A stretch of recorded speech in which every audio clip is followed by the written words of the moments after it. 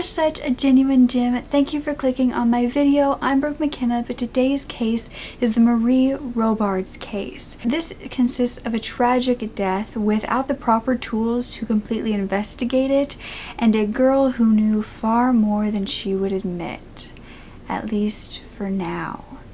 By the way, I post so much content like this and your support means the world, so if you wanted to subscribe down below, turn on the post notifications, it would absolutely mean the world to me. Now let's get back to the story. So it was 1993 in Fort Worth, Texas, and Marie was a 16 year old high school student whose real name was Dorothy Marie Robards.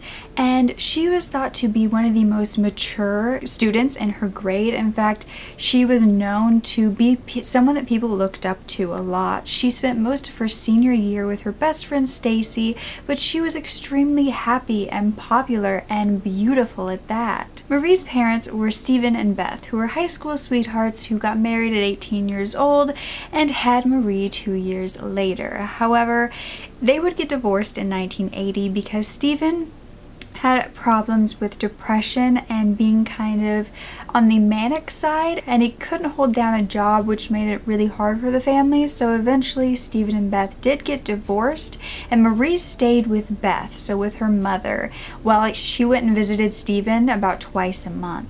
Marie wasn't without a fatherly figure very long. In fact, about a year later, her mother remarried to a man named Frank Burrows, who was actually Stephen, her father's friend, kind of co-worker from the Navy. They'd worked together as petty officers, and when the two were married, Stephen and Beth, Frank didn't have anything to do with Beth. There wasn't any sort of cheating going on. It was just that afterwards they reconnected, and so Marie Beth and her new husband Frank all moved to Granbury, which is like a little bit outside of Fort Worth, and he got a job at as a police officer there. Frank was already a very protective, good father of a son from a previous marriage, and so he got along with Marie pretty well, and they had like a mutual respect for one another. Marie even started calling him dad. I mean, it had been since she was like four that he had been her father and the fatherly figure in her life, and so so she would call both her own father and her stepfather dad.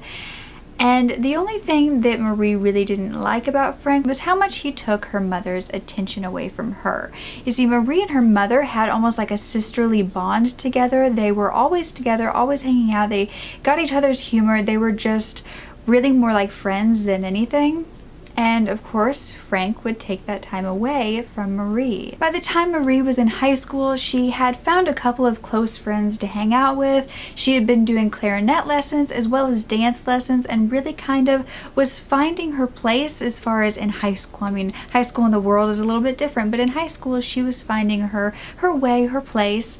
But junior year, things would get really rocky as far as her home life. You see, the weekend that Marie turned 16, she would come home to find her stepfather in bed with another woman. Now, she was absolutely devastated at this and expected her mother to be as well, except Beth was not. In fact, she said that Frank just didn't have his head on right and that she had been spending too much time working, working in the ER, not giving enough attention to him, and that is the way that Frank reacted to that. And so Beth said that they were going to work on their marriage and he was not going to go anywhere.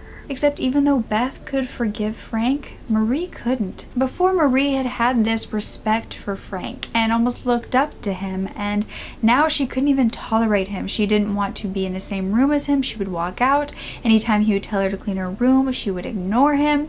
And it was just very rocky inside their house. Eventually, Marie even went to her mother and said, I can't stand being around him. You should divorce him. And Beth basically said no, she wasn't going to do that, and Marie asked to move out. Her mother actually agreed and said, okay, you can stay at your grandparents' house, and even enrolled her in a new high school which was closer to their house. Except she would only be there five days before using all of her money, which was about $50, to get a cab ride back home. Except when she got there, it was not at all what she expected because she was not welcomed in with open arms. In fact, she was shut out and said she could not not be allowed back in.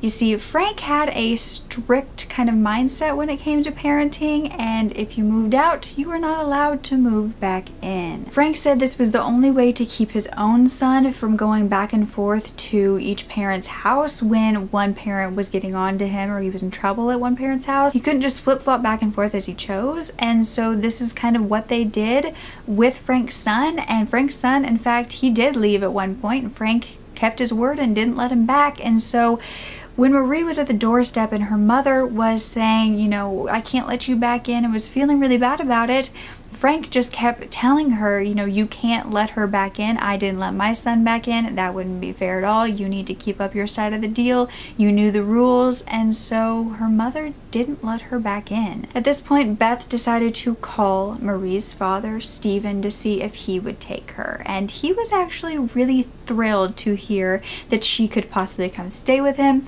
Stephen was getting back on some medication that was really helping with his depression.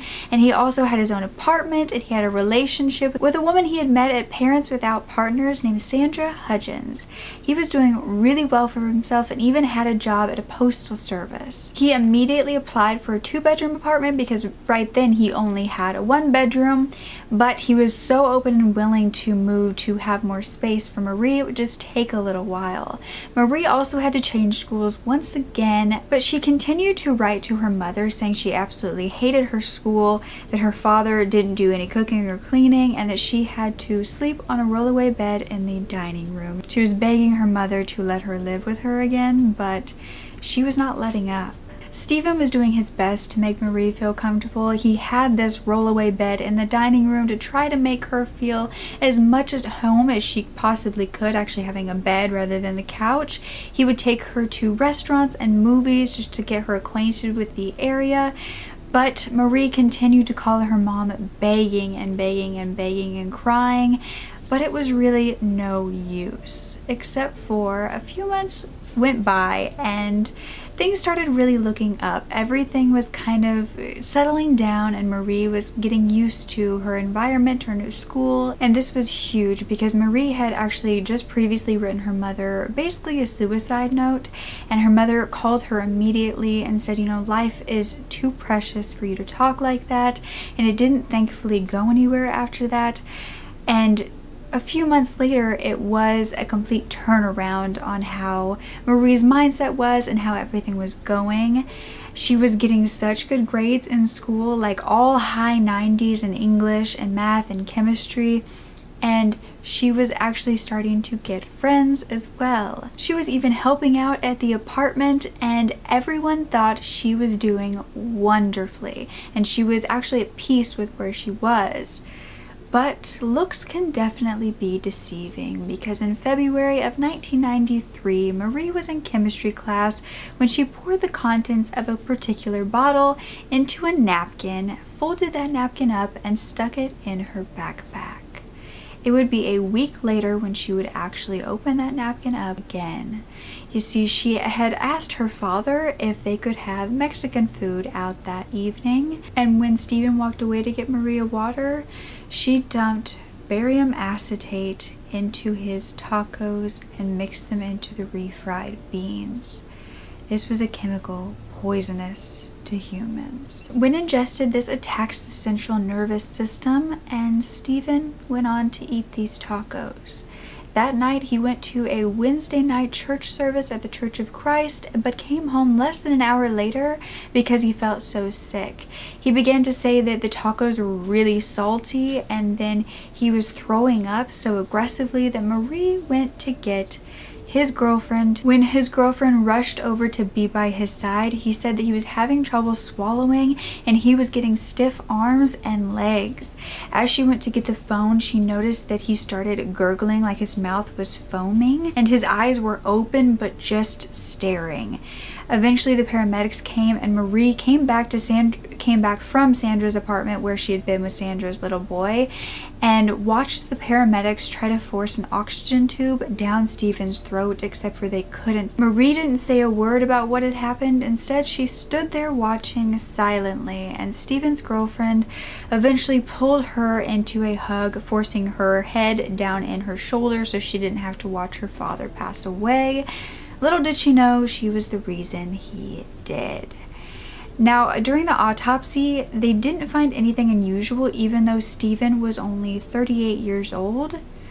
They needed a machine that was $150,000 that they didn't have to basically test different poisons in the body. And because they didn't have this, they ruled it as a heart attack. And so after her father passed away, Marie got exactly what she wanted because she was then picked up by her mother and her stepfather because she didn't have anywhere else to go. But it would be at Stephen's grave when Marie and her mother would be standing looking at Stephen's grave that Marie would find out some incredible news, and that was that her and her mother were going to move to Florida, and Frank was not going with them. When she asked her mother how long she had planned to do this, her mother said, Oh, a few weeks I've been planning it. I just wanted to make sure before I told you. But yeah, Frank's not coming. I did it for you. At this point, Marie couldn't breathe, but it wasn't just out of excitement.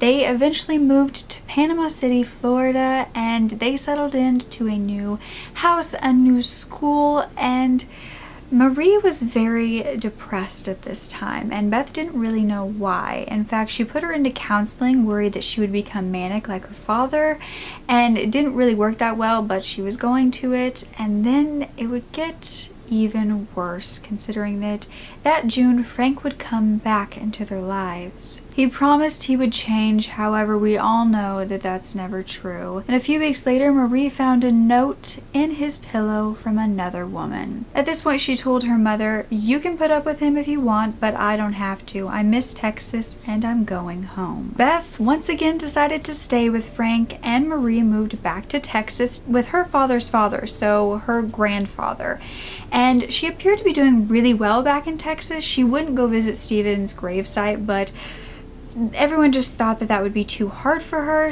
but she was on the volleyball team she was doing the yearbook she was really involved at this new school and wanted to get to know really everything about it and didn't seem to be having any signs of the depression. Now all of the students at this new school were intrigued by Marie. She was so beautiful, so put together, and especially a girl named Stacy High really wanted to be her friend. Stacy had noticed that she always looked so perfect and wondered if this was hiding any sort of flaw that Marie might have. Stacy had grown up with an abusive background and she kind of understood that and could tell that something had happened to Marie in her past. She didn't know what, but she kind of wanted to and she wanted to help her kind of have some fun in her life. And so Stacy would often take Marie to country bars with fake IDs and all of the boys would call Marie a country Barbie doll. Now Stacy and Marie did almost everything together. However, it didn't matter how many times Stacy asked about her dad, she would not speak about it. And it would be Shakespeare of all things that would bring it out of her. They were reading Hamlet, and Claudius had poisoned his own brother to steal the throne. In January of 1993, after Stacy finished reading this to Marie, she saw a ghost-faced Marie looking back at her. She was so pale and Marie asked her if it was possible that you could go through life without a conscience. Stacy asked to this, well what about someone who can look somebody else in the eye and kill them in cold blood? And at this point Marie fell on the floor and was sobbing and Stacy was so taken aback by this she ran over to Marie and she said, what is wrong? Are you pregnant? Did you crash your grandparents' car? And then she jokingly said, you didn't kill somebody, did you? And at this point Marie looked up at her and said, my father. I poisoned him. And then she had Stacy promise that she wouldn't tell anybody, that nobody else knew about it.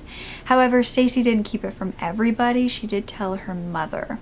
Now, her mother didn't know if she should believe this or not. She thought, okay, maybe this is just Marie's way of getting past her father's death, that it wasn't really how it happened.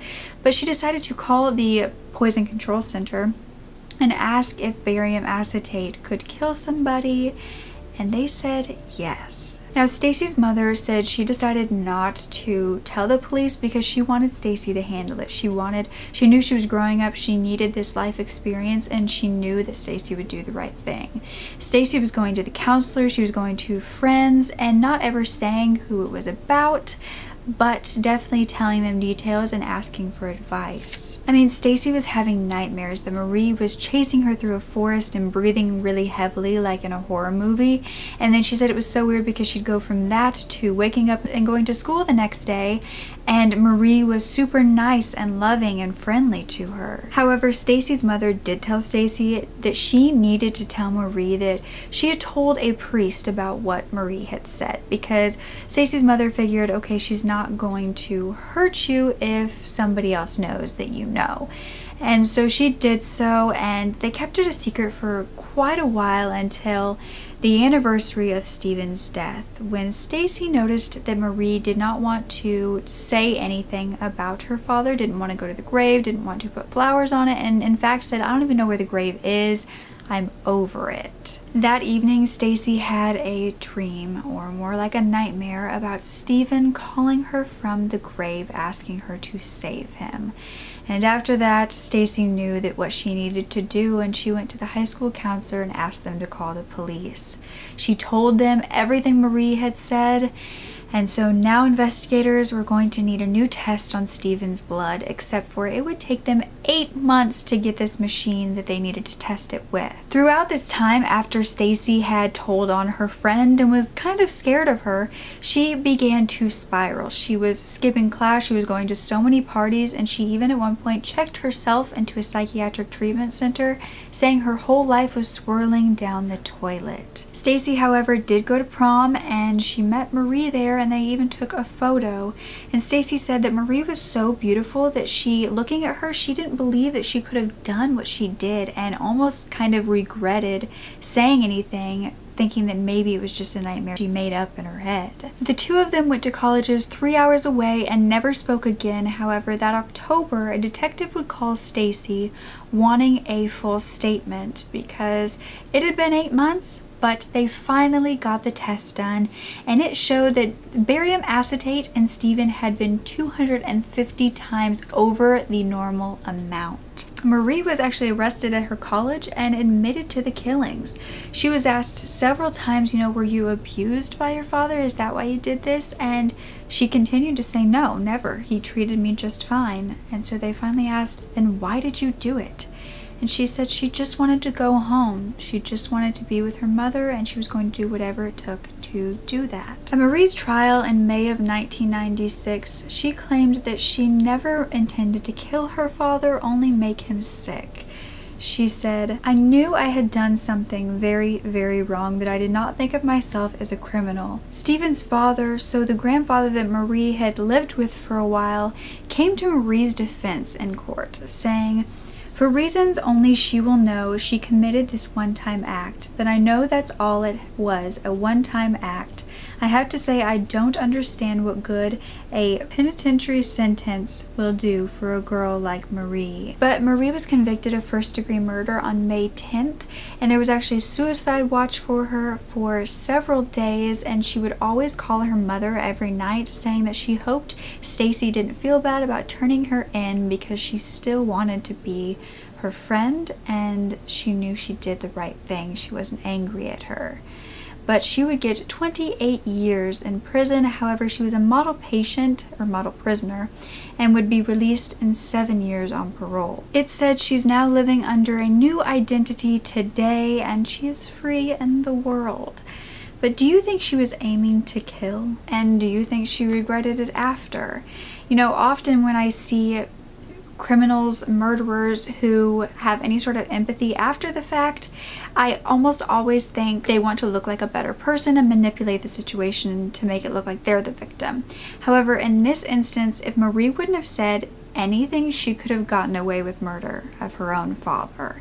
So it just seems to me like to say after the fact that you feel bad about it and that you murdered your own father and admitting to it, I feel like there possibly was some empathy there. There was some regret and remorse after the fact. However, I'm not sure that that means that it wouldn't happen again, especially now that she knows what she's done and how to get over it and went so many years without turning herself in. You know, she told a friend, but also said don't tell anyone else and waited until the friend told and then somebody came and got her rather than going to the police and saying I did it. But something that surprises me the most about this case is that she killed her father and not her stepfather. The whole problem was her stepfather, and yet she goes and kills her poor innocent father who was doing his best to make her comfortable in a house that she didn't want to be in, but he didn't, that wasn't his fault, that was technically the stepfather's fault. The cheating, lying stepfather. Not that I would want him to die either, but like you'd got two of them, you would choose this one and not this one, but she didn't. Maybe that's because she didn't have access to her stepfather. I don't know, but that just seems a little backwards and weird to me. I mean, maybe it had nothing to do with her mother like she said it did. That does make you think that maybe there is something more going on than just her mother and her stepfather. I'd love to hear your theories down below. Don't ever forget to speak up. Your voice is powerful enough and I love you to absolute pieces. Okay, bye.